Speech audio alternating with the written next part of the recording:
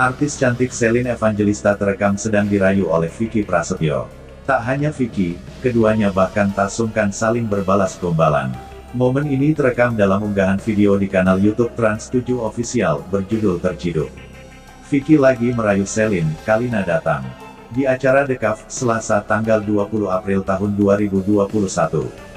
Berawal dari Vicky muncul dari arah belakang menemui Selin Evangelista, Raffi Ahmad, dan Andre Taulani. Band pengiring menyanyikan lagu Selamat Ulang Tahun dari Jamrut untuk suami Kalina Oktarani. Kamu tahu gak persamaan kamu dengan balon?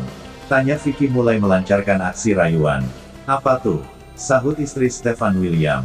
Sama-sama warna-warni menghiasi hidupku dengan warna kata Vicky Prasetyo. Tak mau kalah Selin juga memberikan kata-kata gombal kepada mantan tunangan Zaskia Gotik. Kamu tahu gak perbedaan kamu sama daun? Tanya Selin. Enggak tahu, kenapa, jawab Vicky. Kalau daun jatuhnya ke bawah, kalau kamu jatuhnya ke hati aku, urai Selin. Setelah itu, Selin ucapkan happy birthday ke Vicky yang beberapa hari lalu merayakan ulang tahun 37. Mendengar ucapan selamat dari Selin, Vicky menagih kado ulang tahun ke ibu empat anak. Ekstrim sih minta kadonya, minta aku dampingin hidup dia selamanya kan kasihan, kata Selin.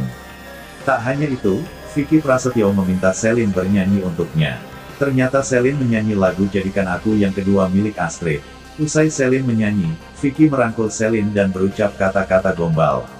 Aku sama kamu, akan menjadikan kamu spesial di hati aku, tenang aja cel, aku sih berharap banget untuk kita bisa sama-sama terus, rayu Vicky. Tiba-tiba, muncul Kalina Oktarani dari belakang. Ia jelas mendengar gombalan Vicky ke Selin.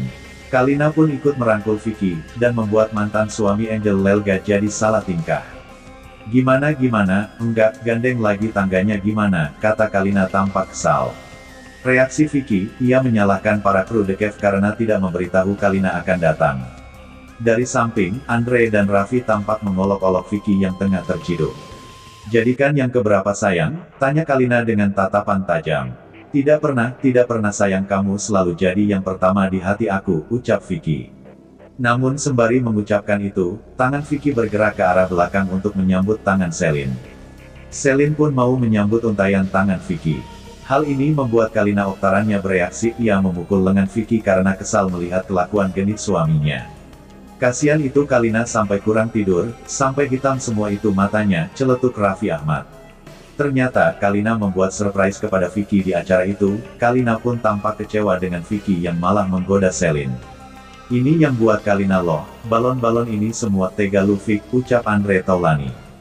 Mendadak Vicky menyesali perbuatannya. Di hari ulang tahun aku yang bukan menghadiahkan kamu kesetiaan malah kesalahan dalam diri aku, ujar Vicky. Widih sadis, timpal Selin. Vicky kemudian meminta maaf sambil memeluk Kalina, namun ia masih mencari celah untuk merayu Selin Evangelista.